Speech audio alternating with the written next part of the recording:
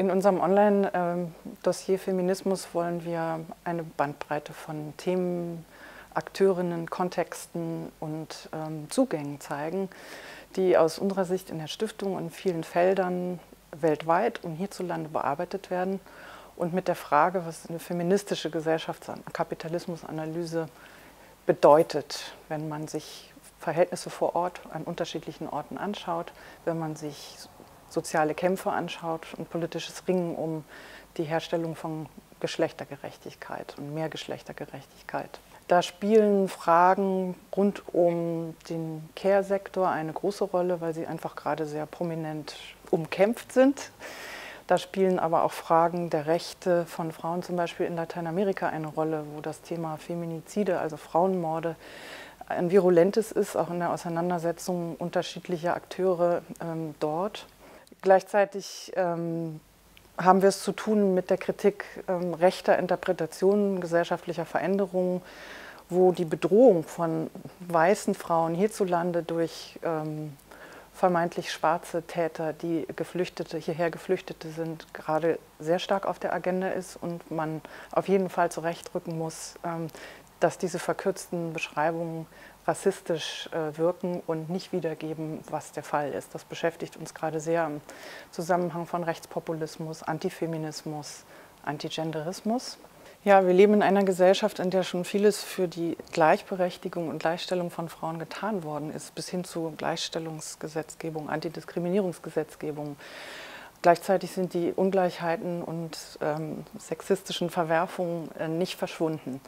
Und das muss einen Anlass dazu geben, zu überlegen, ähm, wie komplex oder wie umfassend man eigentlich die Frage angehen muss, wenn es darum geht, echte Gleichstellung herzustellen. Das ist keine Frage nur liberaler Rechte, die erreicht sind, das ist ein erster Schritt, sondern der materiellen Übersetzung, was das bedeutet, wie viel Einkommen jemand hat, wie viel Freizeit und wie viel Arbeitszeit gegeneinander zu setzen sind wie frei man eigentlich ist als Frau oder welches Geschlecht auch immer. Das schließt ja nämlich ein die Frage nach dem Geschlecht, dass es vielfältige Geschlechter gibt, ähm, wie man sein Leben organisieren kann, mit anderen zusammenleben kann, ohne dabei völlig in Stress zu geraten. Denn so geht es vielen im Moment.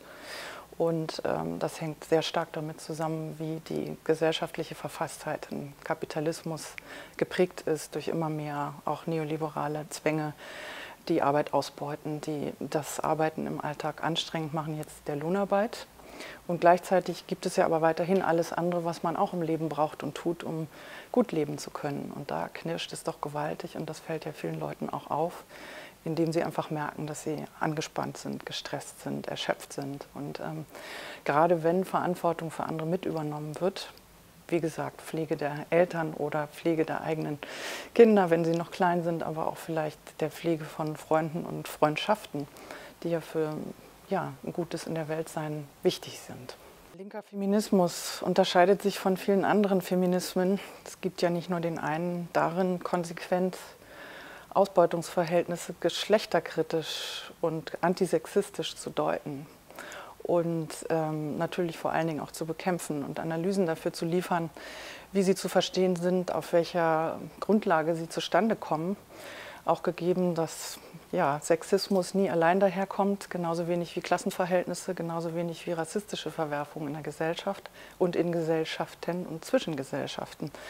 Nach 20, 25 Jahren neoliberaler ja, Bearbeitung des Sozialstaats, der viel abgefangen hat und für die Verbindbarkeit von Familie oder Zusammenleben oder im Alter oder in Phasen, in denen man eben nicht voll erwerbstätig oder gar nicht erwerbstätig sein kann, dass an diesen errungenen Möglichkeiten auch stark gerüttelt worden ist und dass wir mit Einschränkungen, Rückschritten, äh, zu tun haben, einer Wahnsinnsprivatisierungswelle tatsächlich ja auch, ähm, wenn es um soziale Infrastrukturen geht. Denn alles, was öffentliche Dienstleistungen sind, Gesundheit, Pflege, Schule, Bildung, Erziehung, stehen unter ungeheurem Kostendruck und das macht sich ja auch ganz klar bemerkbar an Schulen, ne, von denen, über denen von der Decke der Putz fällt und so weiter, aber auch am Druck auf die Erwerbstätigen in dieser Sphäre selber.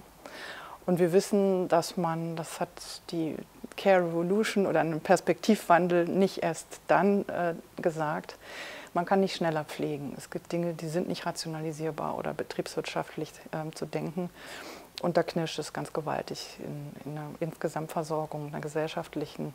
Darum ringen ja jetzt auch viele, unter anderem auch feministische Aktivistinnen, da Bewusstsein zu schaffen und für eine Umkehr nicht zurück zum Alten, sondern in Richtung einer neuen Bewertung und neuen Befassung mit dem Thema ähm, Care, Sorge, Selbstsorge auch, ähm, für eine andere Lebensweise einzutreten.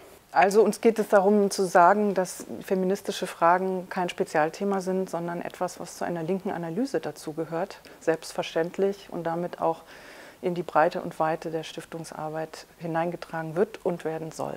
Und wir wollen gerne aufmerksam machen darauf, dass es da vielfältige Ansatzpunkte bereits gibt. Und wer Lust hat, möge stöbern und eine kleine Reise mit uns machen an die verschiedenen Orte, zu den verschiedenen Fragen und Akteurinnen und Akteuren, die dabei in den Fokus rücken.